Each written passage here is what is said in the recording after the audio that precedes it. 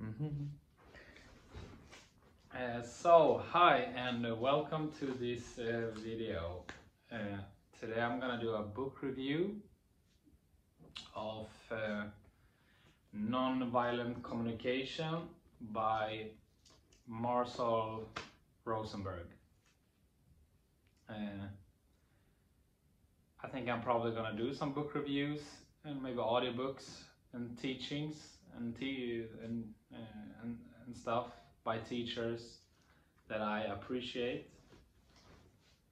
Uh, and this is a Swedish translation, so I'm uh, I'm sure so that some words I'm not using some words the same as Marshall, for example, uh, use in his book.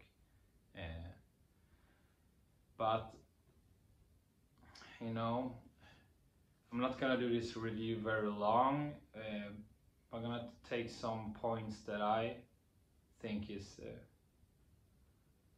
that I really took from this book.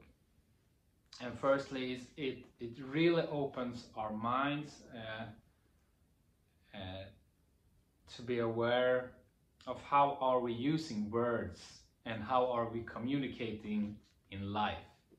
And and it's it's quite funny where uh, after you understand how you know violent communication and stuff you can see that most of our society and most of our childhood uh, growing up like the way we learned how to communicate everything is violent. And uh, and it's it's not in it's not that people intend to be but uh, you know even our uh, many of most of our parents and stuff uh, how they you know communicated with us as kids and how teachers uh, communicate at schools and you know how we generally do. We can see there is a very big uh, well it's a very violent way of communicating. A lot of judgment, a lot of uh, you know separation, and not connecting. And that's one of the first thing that Marshall uh, really points out that uh, he, he he wants to go beyond that, or like that's that's intention with his uh, nonviolent communication that. Uh, that we're not out to to judge people to to remove like the good the bad uh, and connect. What are our needs? I mean he's very big on needs. And uh, and we can see that and, and and this is a very nice because when we when we are mindful in life and we practice something like this uh, what we learn in this book, it really opens us uh, up to, to to explore why are we saying the things we are doing?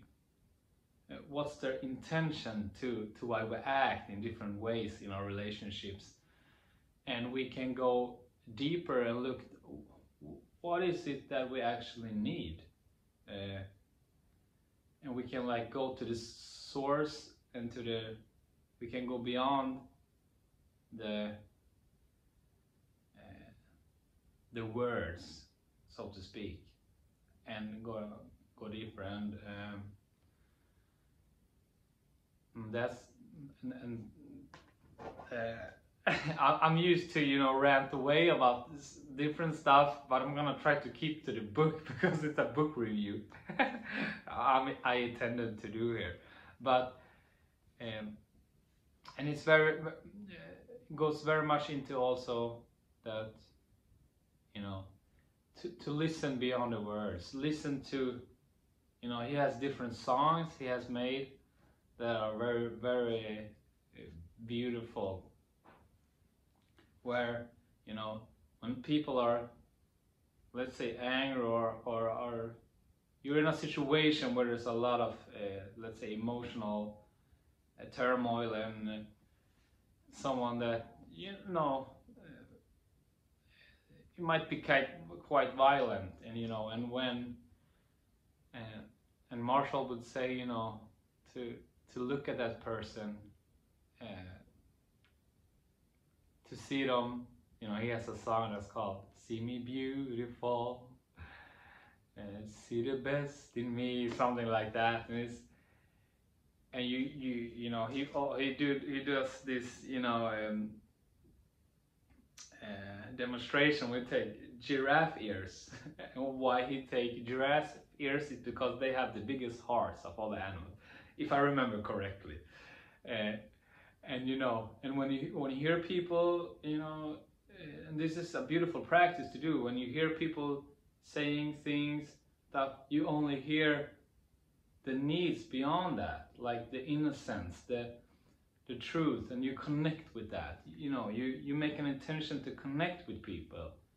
And instead of judging them, you, you respect their viewpoint and you connect and you let them be who they are. You know, it's a very, in some sense, it's almost, uh, it's a very, and like almost uh, non, uh, non-duality communication sometimes. Now we go beyond that, and uh, uh,